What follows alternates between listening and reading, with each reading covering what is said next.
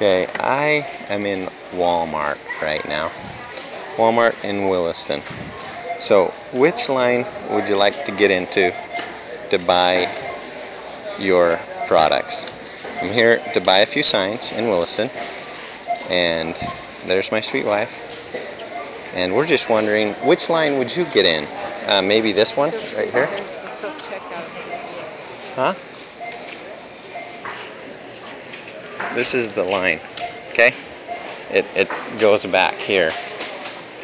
And this is uh, the end of the line. Or you could go over there to that line and go that way. Oh my.